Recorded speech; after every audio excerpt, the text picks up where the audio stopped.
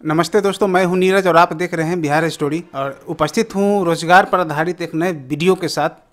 और आज की जो जानकारी है दोस्त नोटबुक मेकिंग मशीन की है। और आसानी से आप नोटबुक मशीन को लगा करके अच्छी खासी कमाई कर सकते हैं। तो कैसे कमाई होगी कैसे ये स्वरोजगार शुरू होगा तो बहुत सारी डिटेल्स है जो मैं ज- यहाँ हमारे सामने बैठे हुए हैं। अजीत जी अरमाइन इंडस्ट्री के निदेशक हैं।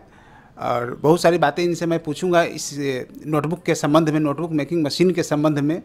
तो सबसे पहले स्वागत है अजीत जी हमारे यूट्यूब चैनल पर। आपका thank you sir Ajit ji ये नोटबुक मेकिंग मशीन जो आपके पास है तो अगर कोई करना चाहे तो कैसे शुरू करेगा? सबसे पहले मैं अपने भाई बंधु को अपने कंपनी की तरफ़ से वेलकम करता हूँ। और आपका भी वेलकम कर रहा हूँ अपने कंपनी में जो आप हमारे पास दोबारा आए, अगर लोगों को अच्छा लगा हमारा एक प्रोजेक्ट। अब ये दूसरे प्रोजेक्ट के बारे में हम लोग बात कर रहे हैं। तो आज जो हम लोग बात कर रहे हैं, नोटबुक मशीन की, जिसे कॉपी बोलते हैं, नोटबुक बोलते हैं, खाता बोलते हैं ये एक ऐसा चीज़ है एक ऐसा मतलब सब्जेक्ट है।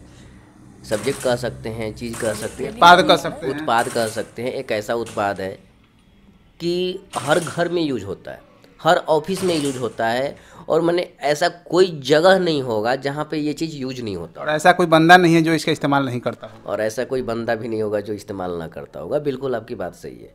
और ये ऐसा बिज़नेस है जिसको कभी डुबोया नहीं जा सकता, यानी कभी डूब नहीं सकता है। जस्ट लाइक like अगर हम एक गोल्ड गोल्ड यानी सोना को खरीद के रखते हैं और उसे साल भर या दो साल के बाद भी सेल करेंगे तो दो रुपये दे के ही जाएगा।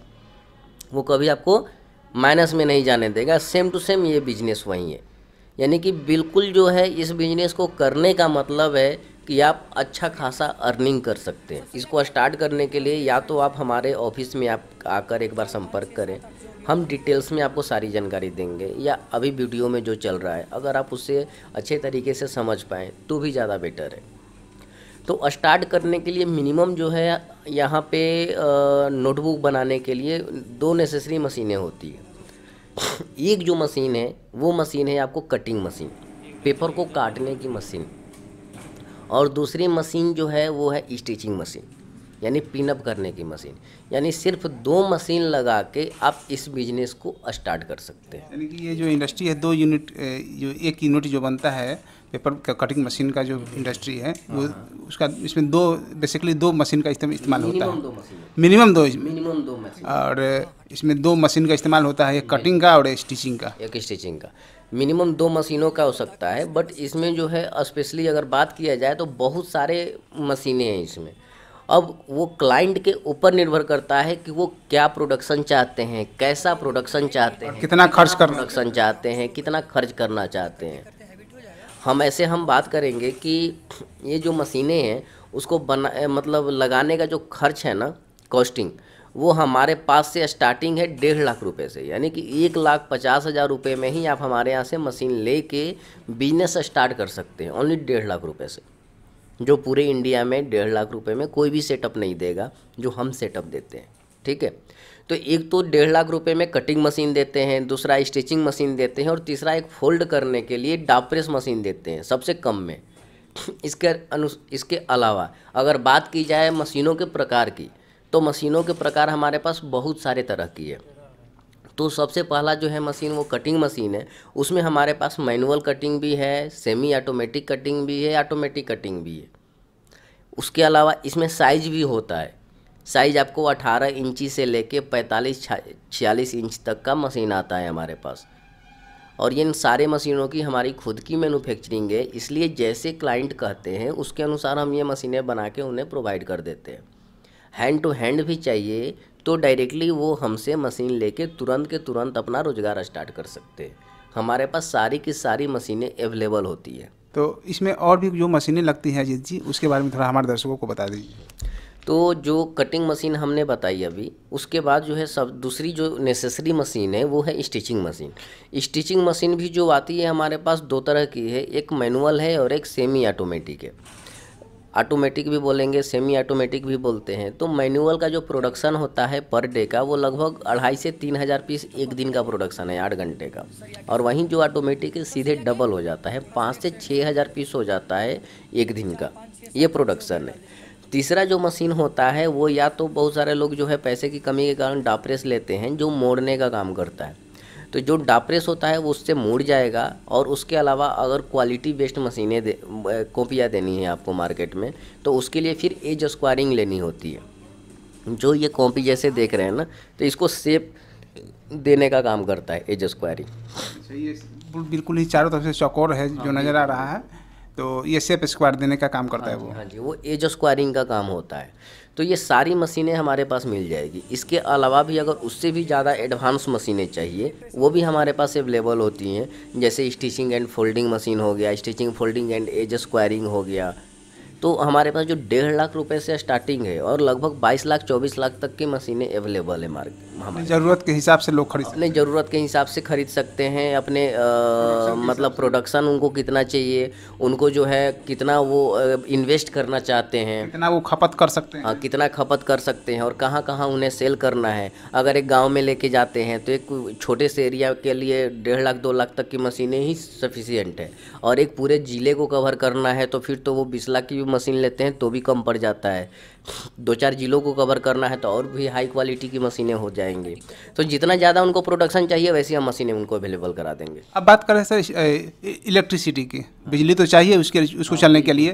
तो क्या कितना उसमें बिजली की खपत होती है थोड़ा बता दीजिए।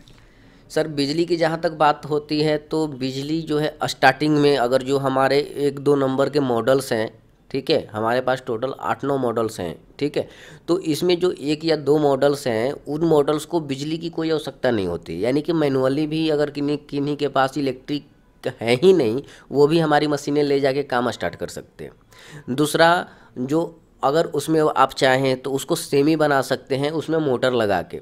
या आप ऑटोमेटिक जब मशीनें लेते हैं तो उसमें कम से कम दो किलो वाट से लेके और छः किलो वाट सात किलो वाट तक का कनेक्शन लेना होता है। यानी कि दो एच की भी मोटर लगती है उससे हाई कन्फिग्रेशन मशीन में जाएँगे तो लगभग पाँच किलो वाट का कनेक्शन लेना होगा। पाँच एच का मोटर हो जाता है उससे भी हाई कन्फिग्रेशन में जाएँगे तो सात से आठ एच का मोटर हो जाता है। तो ये सारे जो है अलग अलग होते चले जाते हैं। मशीन के स्ट्रेंथ के हिसाब से? मशीन के स्ट्रेंथ के हिसाब से सर जितना ज़्यादा हाई फाई लेंगे उतनी ज़्यादा उनको बिजली का आवश्यकता पड़ेगा। तो इसमें लेबर की कितनी ज़रूरत पड़ती है ये थोड़ा बता दीजिए। सर लेबर का जहाँ तक बात है यानी कि मिनिमम जो है इसमें ऐसे तो होम बेस्ड ये जॉब है सारे ये काम है वर्क है मशीनें हैं यानी कि अपने घर में भी आप लगा के इसको काम शुरू कर सकते खुद से भी कर सकते खुद से भी आप कर सकते हैं बट मिनिमम जो है दो बंदे चाहिए इसमें।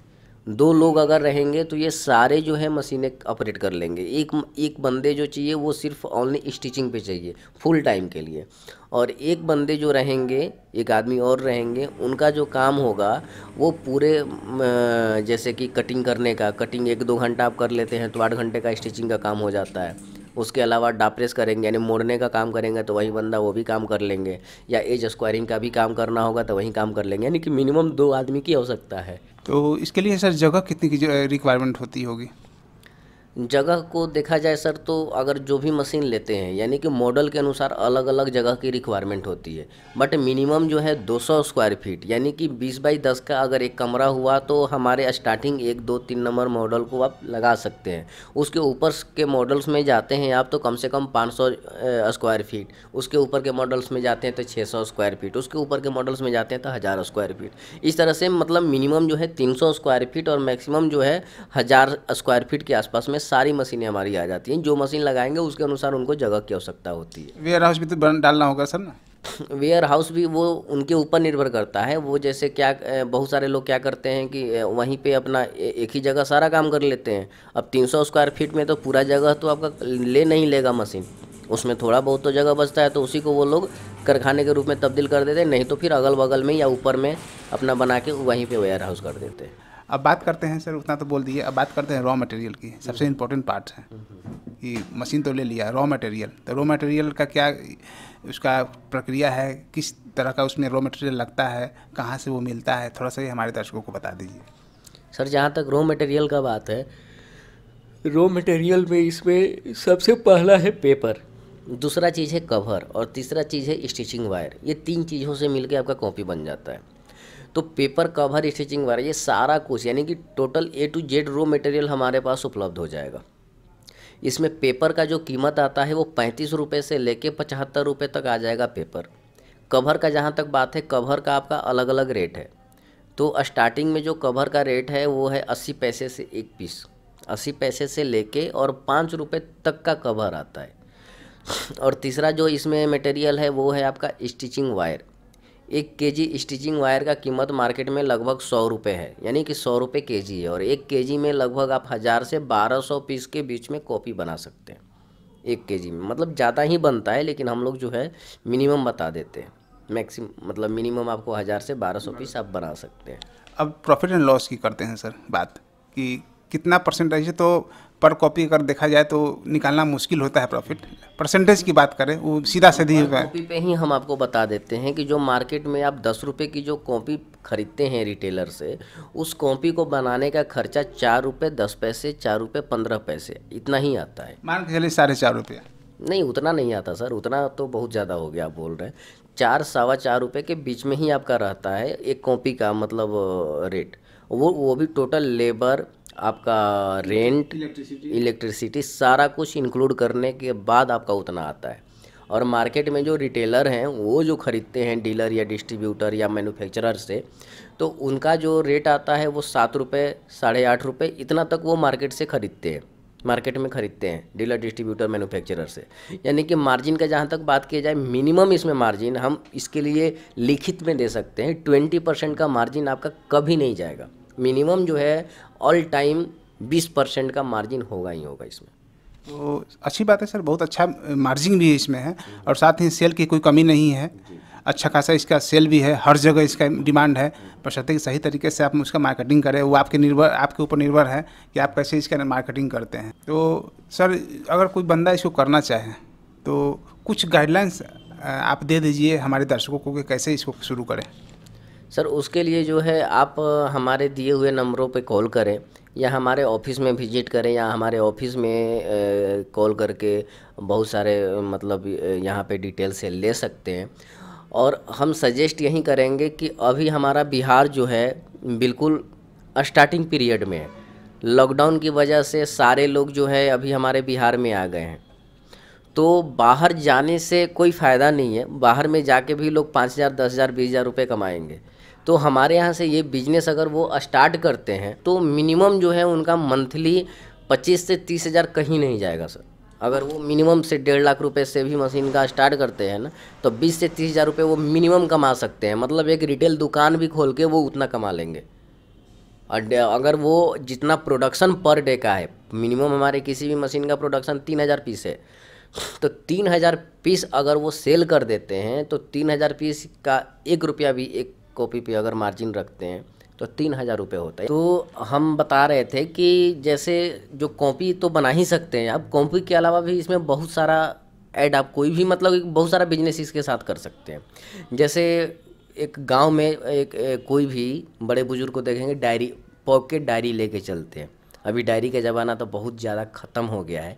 पहले के ज़माने में सबके पैकेट में रहा करता था, लेकिन अभी भी वही है, पुराने लोग हमारे जितने हैं वो पैकेट में डायरी लेके चलते हैं। तो जो तीन इंची से लेके और बत्तीस इंच तक आप इसमें कुछ भी बना सकते हैं, एक डायरी बना सकते हैं, पैड बना सकते हैं कुछ मतलब उसके अलावा भी बहुत सारी चीज़ें आप बना सकते हैं। और इसके अलावा हम एक चीज़ आपको बताना चाहेंगे कि ये एड ऑन बिज़नेस है, यानी कि कुछ भी इसमें आप ऐड कर सकते हैं, कुछ भी ऐड कर सकते जैसे कि एक आपने प्रिंटर ऐड कर लिया अगर प्रिंटिंग मशीन आप ऐड कर लिए, उसमें प्रिंटिंग मशीन में आप सेट आता है डिजिटल प्रिंट आता है तो बहुत सारी चीज़ें आप कर सकते हैं। जस्ट लाइक आप बुक्स बना सकते हैं, आप ये हैंडबिल हो गया पोस्टर्स हो गए डिजिटल प्रिंट में जैसे बनता है आपका विजिटिंग कार्ड हो गया तो ये मतलब प्रिंटिंग से रिलेटेड भी आपका सारा काम हो जाएगा। एक सिर्फ़ प्रिंटिंग मशीन लगा लेने से। तो दोस्तों, बहुत सारे सवाल का जवाब हम आपको मिला होगा इस वीडियो के माध्यम से। और अगर आपको मशीन लेनी है तो अजीत जी का फ़ोन नंबर या अरमाइन इंडस्ट्री के निदेशक है तो अरमाइन इंडस्ट्री का फ़ोन नंबर यहाँ का एड्रेस ऑफ़िस का मैं डाल दूँगा डिस्क्रिप्शन में। आप आराम से यहाँ पर आ सकते हैं। ऐसे मैं आपको बता दूँ कि अगर आप पटना से हैं या पटना आना चाहते हैं या पटना के ऑफ़िस विज़िट करना चाहते हैं तो जैसे यहाँ बाईपास पर पहुँचिएगा तो फोर्ड हॉस्पिटल नज़र आएगा। तो फोर्ड हॉस्पिटल के ठीक अपोजिट में इनका ऑफ़िस है। तो वहाँ से भी आप आ सकते हैं। आराम से यहाँ पर आइएगा आराम से सारी बातें को आपको बता दिया जाएगा कैसे करना है क्या करना है। आपके पैकेट जितना अलाउ करता है उस हिसाब से अपना मशीन लगाइए। जितना आपका बजट है उस हिसाब से अपना मशीन लगाइए। तो दोस्तों आज की जानकारी कैसी लगी कमेंट करके ज़रूर बताइएगा। और अब तक आपने हमारे चैनल को सब्सक्राइब नहीं किया है तो प्लीज़ दोस्त सब्सक्राइब ज़रूर कर दीजिएगा। तो आज की जानकारी आज की वीडियो में इतना ही तक। आगे भी अपडेट जारी रहेगा।